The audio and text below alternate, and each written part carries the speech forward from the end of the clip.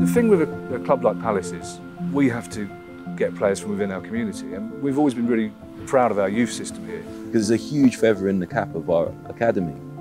People are getting to know now.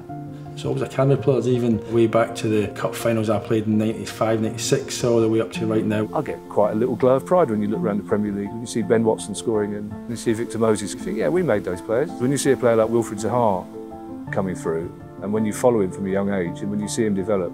And it's a club that's in his heart, always will be. He's always entertaining, even if nothing comes of it. You know, he'll go around three players, uh, and that's just brilliant. And uh, we all know on his day he's almost unplayable.